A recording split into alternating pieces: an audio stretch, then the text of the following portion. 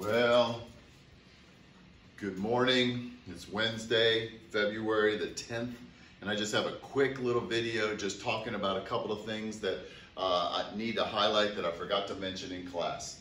The first thing is when we have our rate law here, the only thing that's going to change the value of K is temperature. Okay, you can change the concentration. It's going to change the rate, increase the concentration, the rate goes faster, decrease the concentration, rate goes slower, change the pressure, change the volume, which in a sense is changing concentration.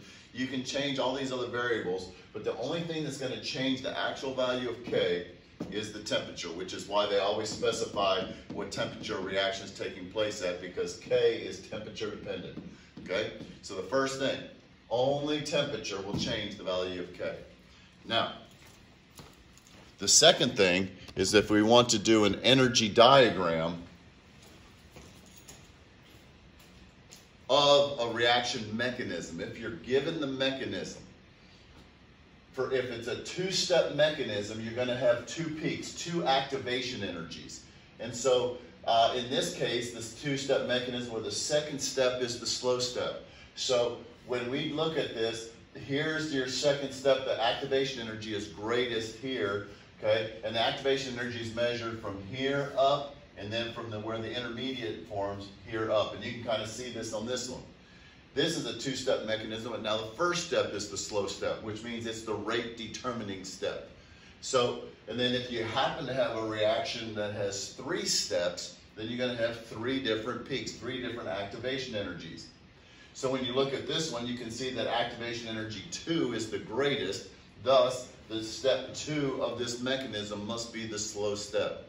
So you still have the reactants and products. You're still going to have your delta H here. This is your delta H here. But it's this just kind of shows the intermediates and the activation energy of each individual step. So if it happened to be a six-step mechanism, well then you would have six different peaks, but the highest not necessarily the highest up, but the greatest activation energy. Notice this one's higher than this one, but the activation energy here is greater. So this is my rate determining step. Okay, so there's just those two things that I want to add in to uh, just make sure that uh, you know those things in preparation for the test tomorrow.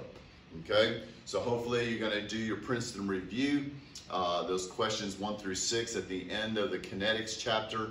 Um, and uh, all the explanations for those are in the back of the Princeton Review. Those will just be good study guides for you.